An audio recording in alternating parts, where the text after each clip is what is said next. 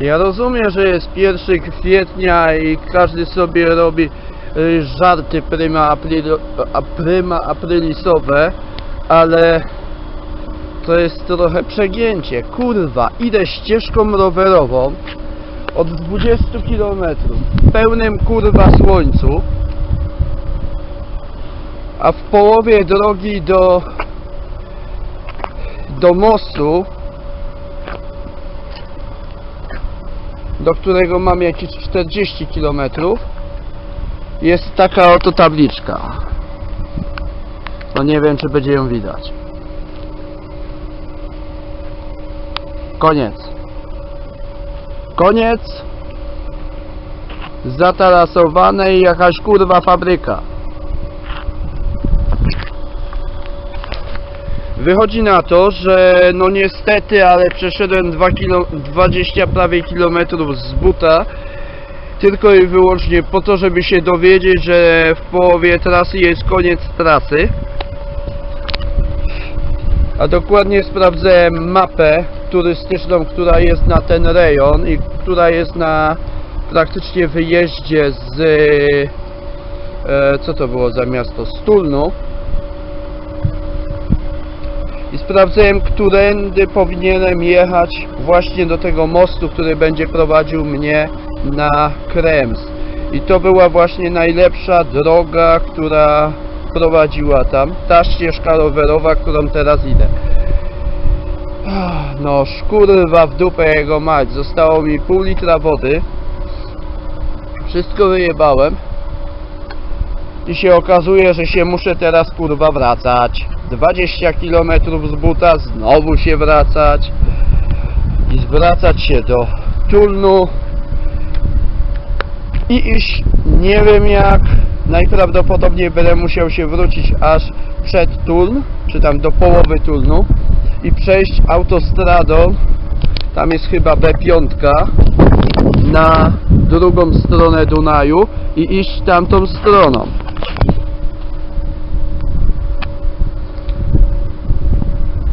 albo iść B5 w stronę Kremsu.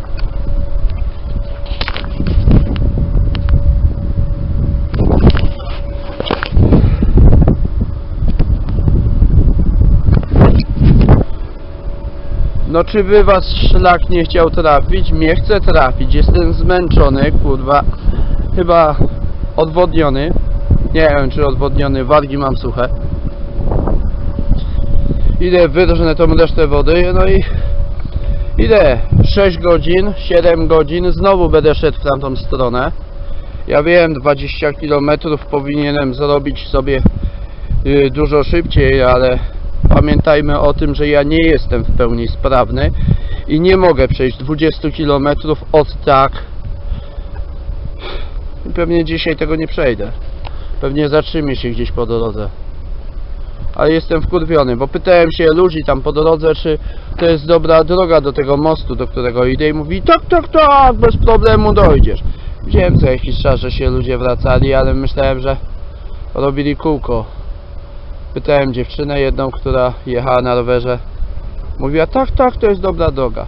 Innych ludzi, którzy przechodzili tędy, tak, tak, tak, to jest dobra droga. No szkurwa mać, jak ich spotkam na kopie kurwa wszystkim do dupy.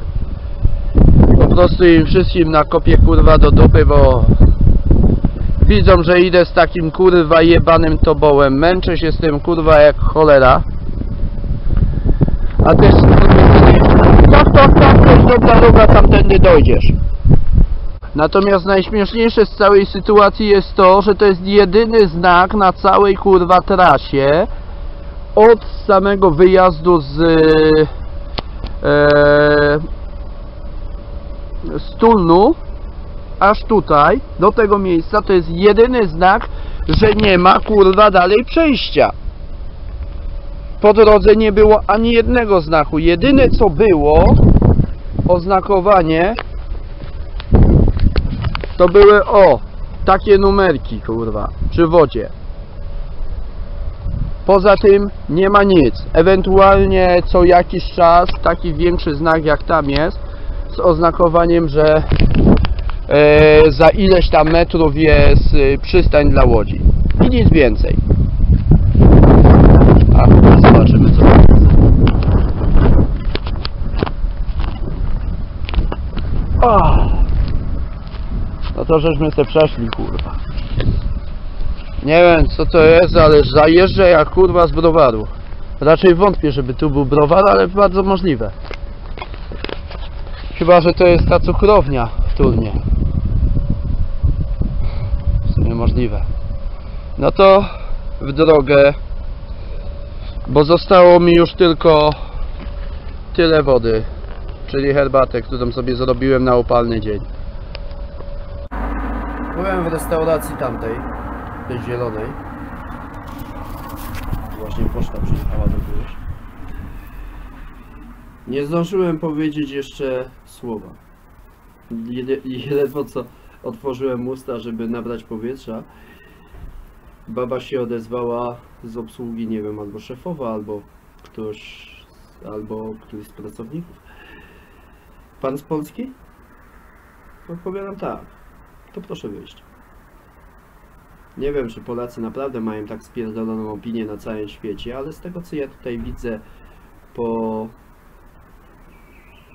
po ostatnim miesiącu praktycznie to ciężko jest, to naprawdę ciężko kurwa, żeby Polak tędy przejechał.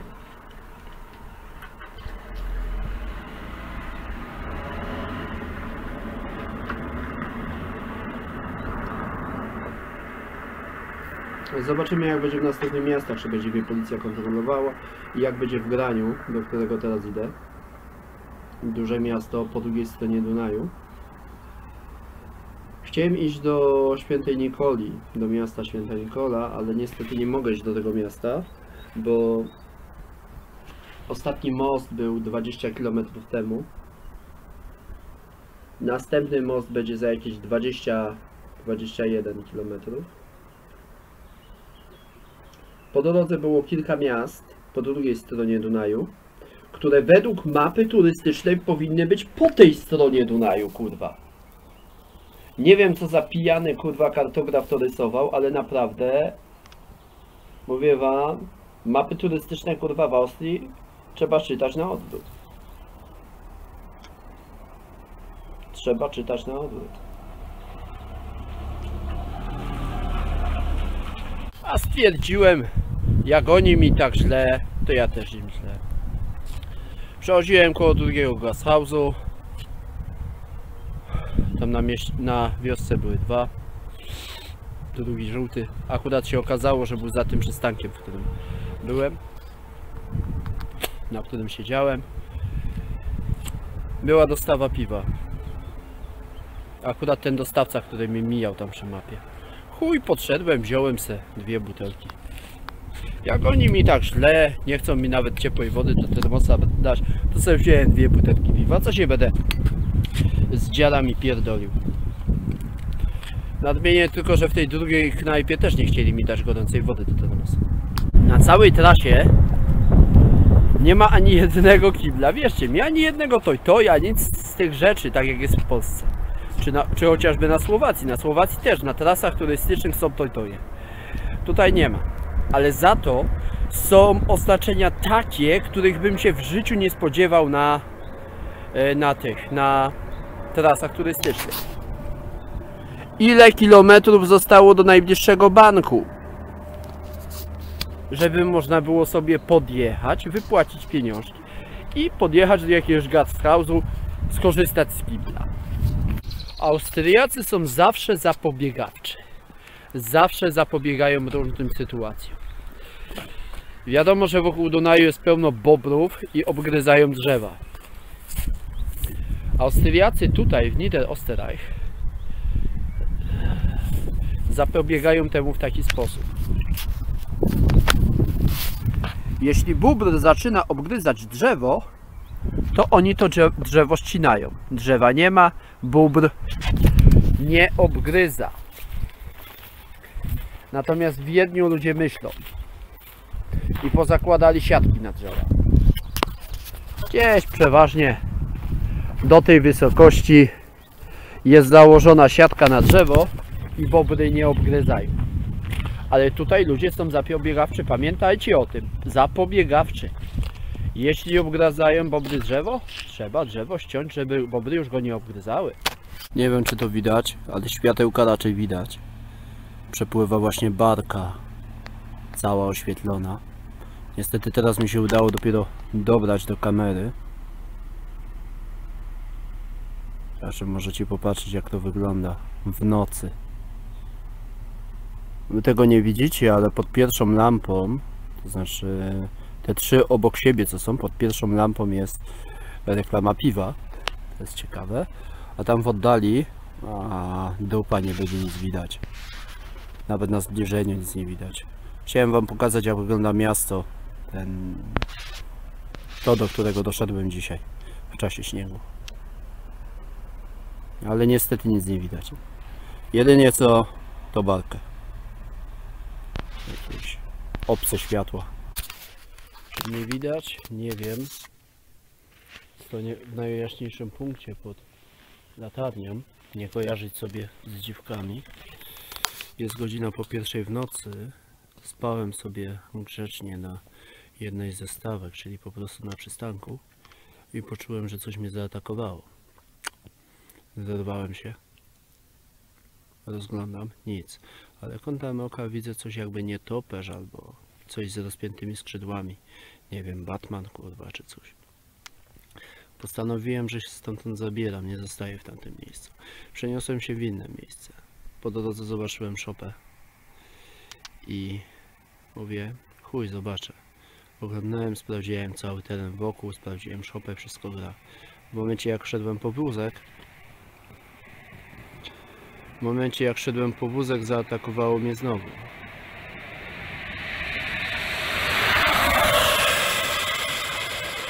Nie wiem, prawdopodobnie jastrząb albo jakiś inny duży ptak. Wątpię, żeby sowa mnie zaatakowała, chociaż to też jest drapieżnik.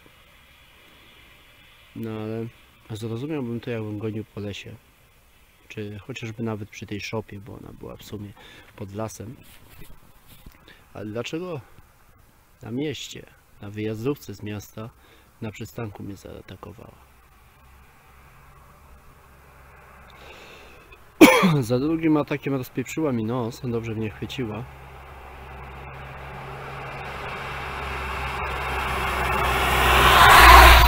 Zdezynfekowałem to oczywiście, ale chyba będę musiał sobie strzyć ranę. Z tego powodu, że mam przekolczykowany nos. Tutaj całe, nie wiem czy w ogóle mnie widać, ale tutaj mam cały nos rozdupcony. No i jest godzina po pierwszej w nocy. Idę w głąb miasta, tam gdzie jest więcej światła, bo w takie miejsca takie coś się raczej nie zapuszcza. I cały czas mam przy sobie nóż. Z tego powodu, jak mnie coś innego zaatakuje, będę, będę przygotowany. No i się zabieram, byle do rana. Nie rozumiem, dlaczego w tak dobrym oświetleniu, jakim jestem teraz, naprawdę gówno widać. Z tego, a na starej Nokii jest bardzo dobry obraz. Bez trybu nocnego. Na smartfonie, kurwa, nic nie widać. Doszedłem do zastałki, pierwszej zastałki, taki zajebisty drewniany domek, taki przystanek z powybijanymi oknami, ale częściowo osłonięty od wiatru, przynajmniej na tej płaszczyźnie, gdzie mam głowę i będę leżał. Ławka jest zajebista, duża, także nie spadnę. Częściowo zakryję się wózkiem, wyciągam tylko dzisiaj śpiwór. Jestem naprawdę wykończony, trzeba buty ściągnąć w końcu. Te dzisiejsze 20 ponad kilometrów pod wiatr, pod śnieg, pod deszcz później. Wcześniej jeszcze pod śnieg z deszczem, kurwa, w tym mrozie. Naprawdę dały mi się w dupę.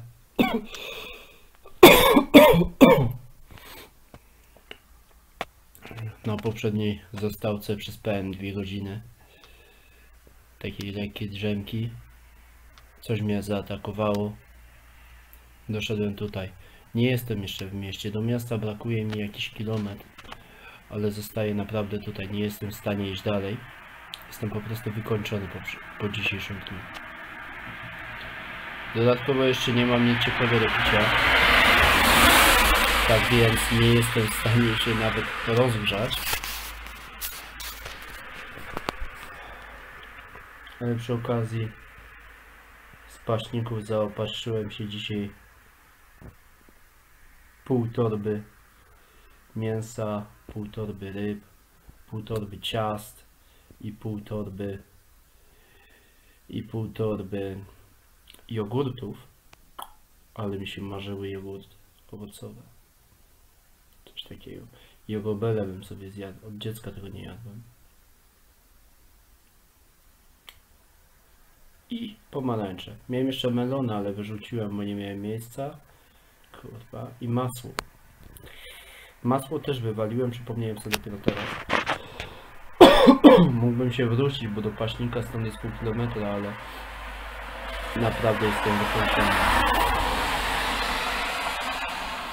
A masło by mi się naprawdę przydało dla morale, żeby nie jeść suchego chleba. No i dlatego, żeby zrobić sobie jajecznicę z tego jajka, które noszę kurwa od tygodnia. Mam jedno surowe jajko. Dobra, ja ściągam tę deszczówkę, a fajnie grzeje, nie, nie wieje, a przepuszcza ciepło. Nie przepuszcza za bardzo wody, przynajmniej w tych miejscach, gdzie nie jest uszkodzona. Teraz chyba widać, jak mnie podrapał po nosku. Ja myślałem, że ja mam tak kurwa wyziębiony organizm, że jest mi tak zimno, a tu się okazuje, że jest 6 stopni tylko. Czyli teraz już mogę otwarcie powiedzieć oficjalnie, że przyszła wiosna. Z tego powodu, że jest zimny, arktyczny wiatr, 6 stopni i świeci słońce. Na szczęście jestem zmarznięty po całej nocy, więc... Yy...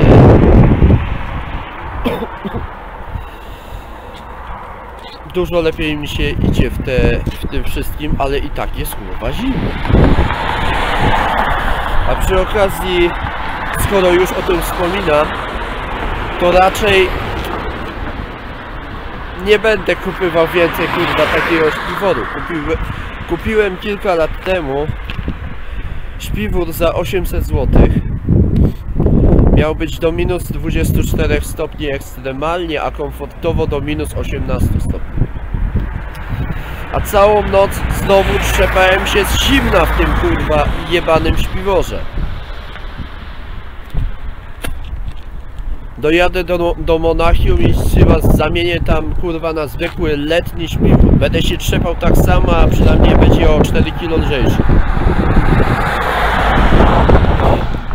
To jest taka wielka kurwa mucha. To jest tak. Weźcie sobie wielki worek na śmiecie.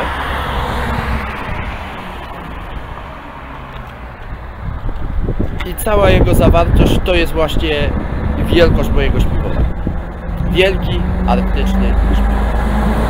No może nie arktyczny. Ale to kurwa no ciepło. W nim jest fajnie. Komfortowo się śpi. Jak na polu jest 15 stopni. Na plusie. Ale nie jak jest 6 na plusie. To wtedy się kurwa człowiek trzepie z zimna.